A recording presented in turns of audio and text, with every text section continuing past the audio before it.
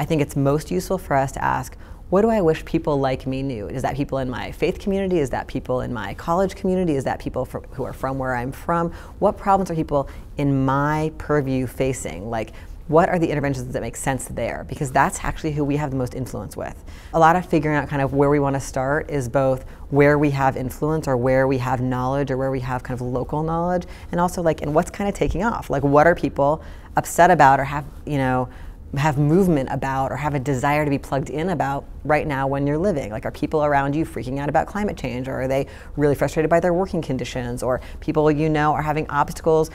Um, to education because of disability like what are the things that people that some critical number of people you know might want to do something about together. Or a bunch of people you know really want to learn more. We really wish we understood what it was like when Reagan became president because we're thinking about what it feels like for Trump to become president, but maybe we're too young to remember that or something like that. Well, can we do a reading group together? Can we do a film series together? Can we bring people together to talk about what we want to do together, but bring them together through some kind of activity that's like engaging and fascinating and meets some need? You know, those are the kinds of like, you know, like the social movements should meet people's needs. They should be fascinating. They should bring you social connection. They should be spaces where you're like, I really want to go to that event.